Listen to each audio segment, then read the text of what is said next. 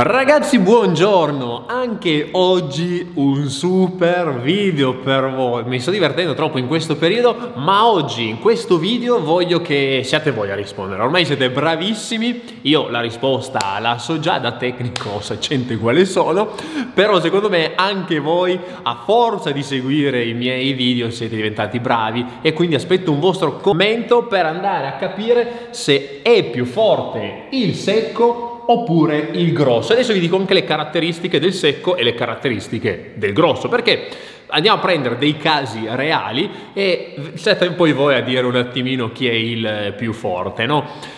Mi raccomando, commentate, spolliciate all'insù se generalmente mi seguite, spolliciate in basso se invece siete dei seguaci di ciarlatani che vengono ogni tanto sul mio canale per imparare qualcosa di allenamento. Ma oggi anche voi potete rispondere, eh? ditemi anche voi la vostra, ma cercate di essere obiettivi.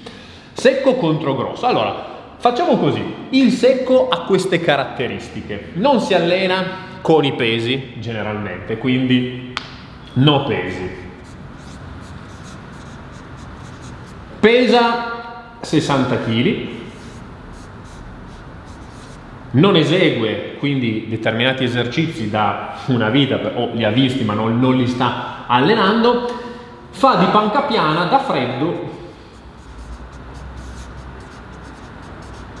120 kg.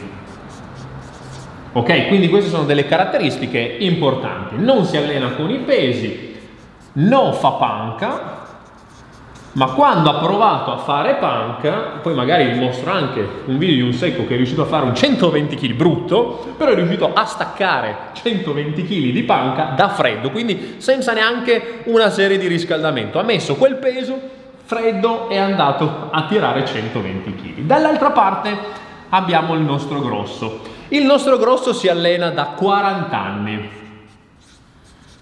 Da 40 anni ha un peso all'incirca di 90-100 kg. Il nostro grosso riesce, diamogli il beneficio del dubbio, a fare un 160 kg di panca brutti, anche qua brutti, non bellissimi, brutti, 160 kg di panca piana, però ovviamente è da una vita che sfrutta i suoi metodi di allenamento e fa da 40 anni panca piana ed è arrivato in 40 anni a sollevare 160 kg, quindi direi un buon risultato. Da qua abbiamo uno che non si allena, fa 120 kg, di qua abbiamo uno che si allena da 40 anni con dei suoi metodi che vengono definiti come i migliori al mondo e riesce a fare, secondo me, a malapena 160 kg. Anche perché allora, in forza assoluto vabbè, ma noi siamo qua a vedere un po' la relazione, no? quindi anche un po' la forza relativa. Balza all'occhio che questo ragazzotto qua, 60 kg, riesce quasi a sollevare per due volte il suo peso corporeo. Questo soggetto non arriva al per 2 perché al per 2 dovrebbe fare un 180 o almeno un 200 kg, no?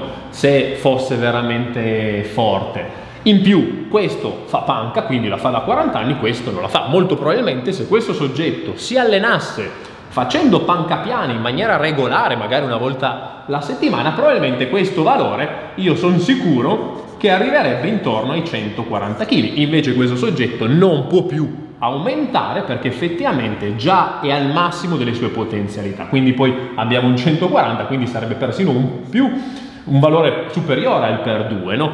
Ma la domanda è a voi, secondo voi, chi è che ha più forza relativa in proporzione al peso, in proporzione a quello che sta facendo nell'esercizio della panca piana? Il seccherello o il grosso che si allena e utilizzando i suoi metodi miracolosi, ma poi tanto miracolosi se fa solo questo, non lo sono. Secondo voi? Lascio a voi qua il commento, io la risposta la, la so già, dopo magari stacco e me la vado a scrivere, comunque aspetto il vostro commento e magari anche due motivazioni in quello che andate a dare come verdetto finale. Grazie di avermi seguito anche oggi, oggi è stato un video un po' alla leggera per scherzare su secco e grosso, ma come dico sempre, allenatevi per quello che sono le vostre necessità, per quello che sono i vostri obiettivi, non c'è da fare il confronto tra il secco e il grosso, tutti noi andiamo bene, però effettivamente ognuno di noi nella propria testa ha un obiettivo da andare a raggiungerlo,